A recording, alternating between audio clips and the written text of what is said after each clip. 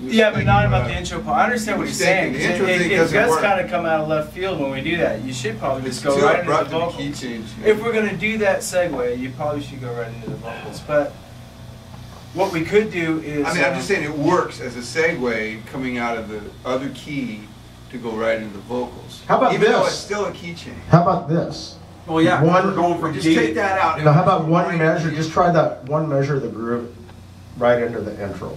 Instead of carrying out, Well, I won't even start that drum beat. I'm just saying that should be that, line. you're doing the ending. try it with the bass line, but just do two times. While he's tuning up, and then get right into the E. Just try it, see what happens.